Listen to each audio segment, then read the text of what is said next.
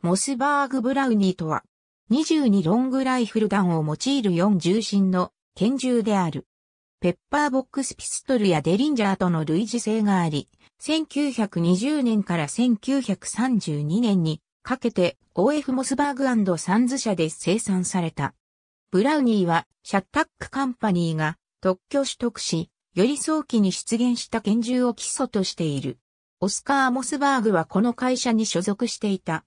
この拳銃はダブルアクションで作動するトリガーと回転式の撃心を備える。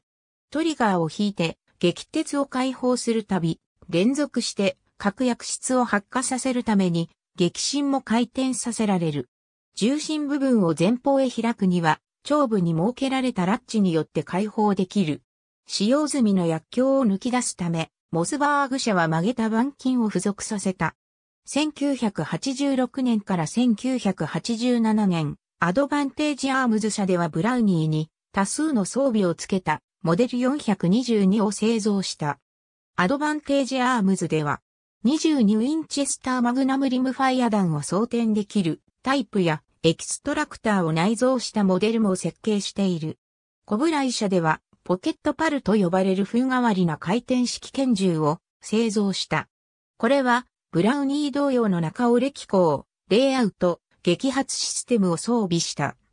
コブライはこれに加え、ユニークな二重心と二後継システムを組み合わせている。ジグザグな構造の回転弾層が2個付属しており、1個は 22LR 弾を、もう1個は 380ACP 弾を装填する。